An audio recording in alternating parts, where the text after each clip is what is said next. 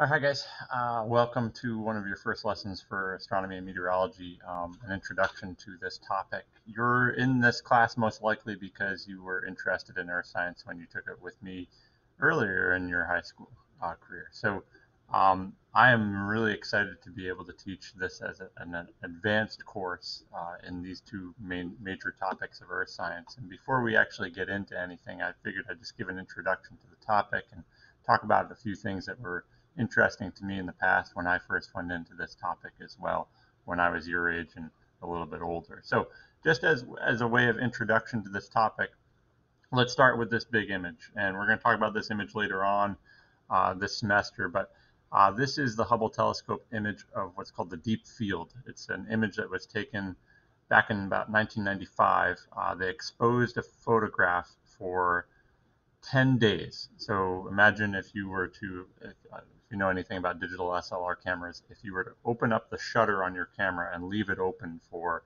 10 days, it would gather all the light for 10 days. And so this was pointed at the darkest place in the night sky for 10 days. And they didn't expect to, to get anything out of this. In fact, it was super expensive to expose a shot for 10 days on the Hubble. It's like millions of dollars to do that. So they weren't sure whether they were going to get anything out of it, and they ended up with this photograph, which, as you can see, there's like thousands of specks of light, and every single one of those specks of light is actually a galaxy in and of itself. And you can kind of see one down here in the bottom right-hand corner. There's a spiral galaxy, as you can see. So every one of those galaxies has billions of stars, 200 billion stars in, in each one of them approximately. So we're talking thousands of galaxies, billions of stars, and we're talking about a really, really tiny speck of the night sky. So if you were to take the whole entire sky, we're talking billions of galaxies with billions of stars, and we're talking big numbers, right? So that's what astronomy is all about, is looking at the vast expanse of the universe and trying to understand all of that. And that's what we're going to talk about over these next uh, few weeks. So I figured I'd start with that. Now, in our context of the universe, we're here. Okay, uh, obviously we haven't taken a picture of the Milky Way galaxy in which we live, but we live on an outer arm, something like where it's pointing in the picture there, and uh, that outer arm, uh, because we're swinging around out there, we can actually observe our own universe as well as uh, the universes that surround the Milky Way galaxy. So we're out there, and we'll talk about the Milky Way galaxy a little bit more in depth as we move along here. But we're in a very privileged place, okay, on a planet that can sustain life at a perfect distance away from our star that allows us to actually survive here on, on, on our planet. And we'll talk about that as well as we go. So we have a lot to talk about. As you can see, I'm, I'm saying that a lot. Now, just to give you guys an idea of, of what earth science is all about. Earth science, when you guys took it in ninth grade or eighth grade, it's really a bunch of things all smashed together into one year. And technically, you could break it down into three topics. Now, what I did for this course is I broke it down into two. So we're going to talk about astronomy in the fall, meteorology in the spring. And so I'm just kind of cutting to one particular place of interest. Now, I'll talk about this later on, but I, I when I was in at Cornell as an undergrad, I focused on geology. So it's actually as, by doing these two courses, astronomy and meteorology, I'm stretching myself. I have to kind of relearn some things that I learned way back then. But my focus was really on geology. But I have an interest in astronomy and meteorology as well. Obviously, I'm an earth science teacher. Okay. Now, what is science in general? Science is all about gathering information, right? It's about organizing and analyzing and looking at things around us and saying, I wonder why these things are the way they are. And so we go about testing our hypotheses and our, our ideas about them through experimentation. But astronomy in particular that we're going to be talking about is an interesting science because it's a little bit, different than physics and chemistry. Physics and chemistry, you can take stuff and you can experiment it in the lab, right? You can actually look at it. But astronomy, you can't take a star and bring it over here and say, what's going on here, right? It's all about observation. So we call it an observational science. We look at things in the sky and we use new instruments to kind of figure out stuff that's going on out there in the in the universe and then we test our hypotheses based upon new evidence that we might find so it is a little bit different than some of the other sciences that are out there. We call it observational. We'll, we'll be talking about observations of the sky in the next uh, month or so. It's also a historical science, and, and by that I mean that it is something that we we kind of investigate almost like a crime scene, right? Everything that you see out there in the night sky is really, really far away. And because it's really, really far away, the light had to travel to us, and we'll talk about that. So everything that we see in the night sky is actually historical. It's in the past, right? And in fact, the nearest star besides our own is four and a half light years away, which means it's four and a half years old by the time we see the light from it. So everything is historical. And so it's kind of like paleontology. We're investigating the past when we look at the night sky. So you can consider astronomy to be both observational as well as historical. Later on in the spring, we're going to be talking about stuff like this, right? Hurricane Laura just hit our, our coastline uh, down in Texas and Louisiana.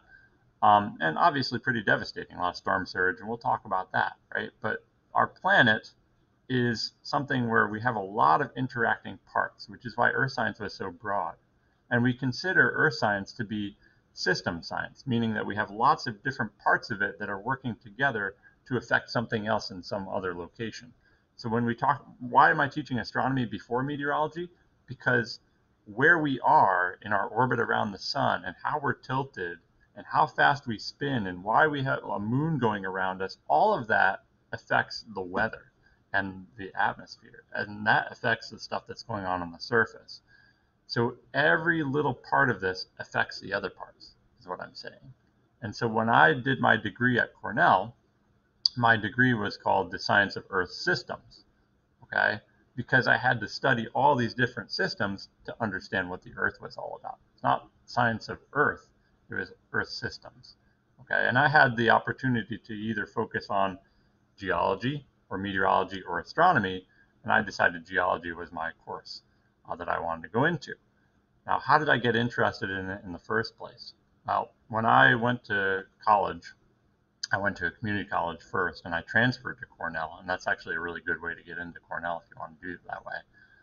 I wanted to go into landscape architecture, something totally unrelated to what I'm doing right now. I wasn't good at it. Right? I wasn't an artist and so I decided let me let me change my degree. And so I got interested in astronomy and geology because at the time Cornell was in charge of uh, the Mars rover uh, back in 2004, and there is a, a professor there, Steve Squyres. He just retired last year, and he was kind of the head honcho. He was the astronomer at Cornell that was in charge of the Mars rover opportunity back in 2004 and it had great success. And everybody was talking about Cornell's research program on Mars rovers. And they're still involved in this now. The Perseverance rover was just launched, um, and that's going up to Mars, and they're still involved with that. This mission accomplished so much more than we wanted to. It's just, it's mind boggling to me. We know more about Mars today than we knew two days ago.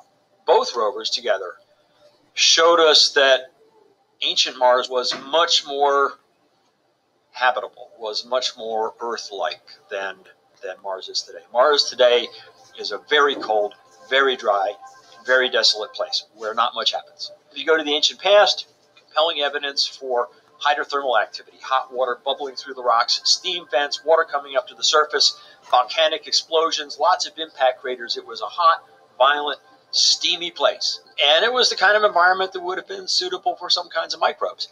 All of it very different from the Mars of today, different places that were visited by the two rovers different from one another. And it sort of hints at the complexity that the entire planet must have. This was a great teaching tool. You know, it's been said many times that some of the most important scientific discoveries begin with the words, that's odd. You know, you see something totally unexpected and then you follow it. To take that kind of immediacy of discovery and the true nature of science into the classroom, it was an opportunity to share with them science as it really happens. I work with engineers today who were 18, 19 year old Cornell undergraduates at the beginning of the mission and actually built hardware that's on the rovers. There's hardware on the rovers that was built by Cornell undergraduates. They put their initials on it and everything. I can see by the career path they've taken, that the trajectory that their career has taken, that that opportunity uh, early in the mission opened doors for them, at least in their, their own heads in terms of what they thought was possible for them. I mean, if you had told me around the time we landed that Spirit and Opportunity were going to each accomplish one quarter or one tenth of what they ultimately did, I would have been thrilled. And it's because of the longevity of the vehicles. You know, Spirit lasted six some odd years, Opportunity 14 and a half when we were designing it for 90 days. Mars just kept giving us new stuff. And so the payoff has been immensely greater than anything any of us ever in our wildest dreams conceived of.